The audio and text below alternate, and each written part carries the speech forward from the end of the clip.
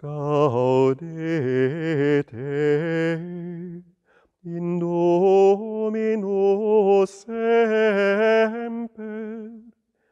iterum dico gaudete, modestia vestra, notasit omnibus omene, Dominus propest, nec il solicite sitis,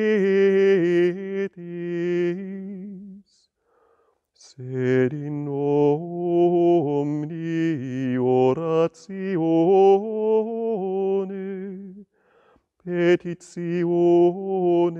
vestre in notescant apud Deum.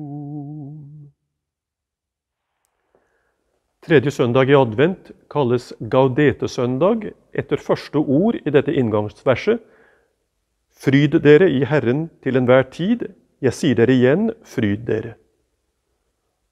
Men har vi egentlig så mye å fryde oss over i en tid med pandemi og usikkerhet og økonomiske sammenbrudd og krig og sykdom i altfor mange steder i verden? Verset kommer fra Filippe-brevet, og det var et brev Paulus skrev da han selv satt i fangenskap og ventet på sin martyrdød. Når han sier 'fryd dere i Herren til enhver tid', er det ikke fordi alt er fint, men fordi, som verset fortsetter, fordi Herren er nær. Og Herren er oss nær også når livet er vanskelig og vondt og kan synes håpløs, fordi Han er vårt håp. Det er det vi minnes og erkjenner når vi nå tenner det tredje adventlys, signet advent. Nå tenner vi det tredje lys. Det er et hellig tall. Vi venter på at kongen vår skal fødes i en stall.